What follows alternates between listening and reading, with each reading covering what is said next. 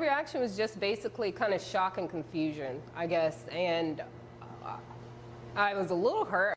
A sticker reading exclusively for white people with another offensive message underneath, claiming to be sponsored by the city of Austin. And the stickers are like kind of high quality, so they took time to do this. City of Austin officials denied any involvement.